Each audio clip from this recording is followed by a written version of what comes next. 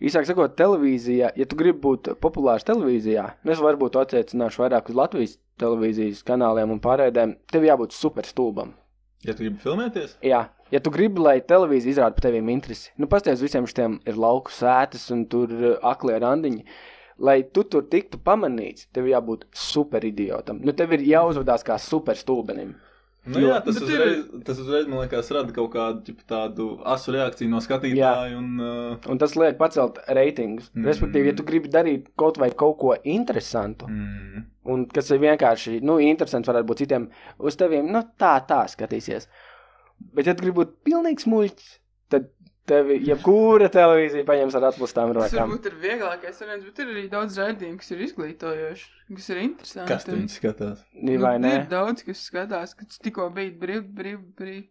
Tur, kur viņi braukāja pārzemēm, tie Es tu pat Latvijas nosaukumu slavenības. neatceros. Jā, un, bet, bet, bet kā domā? TV laikam. Ok, kas brīvdienas TV bija interesants, jo tur ir nu, jau tie cilvēki zinām. Un kas bija brīvdienas TV, kas tur pa kastu bija? Visu sezonu bija samanta tīna. Nu, bet ko lai dara? ka viņi labi Nu, sanāca? jā, ko lai dara, ka viņi ir labi sanāca.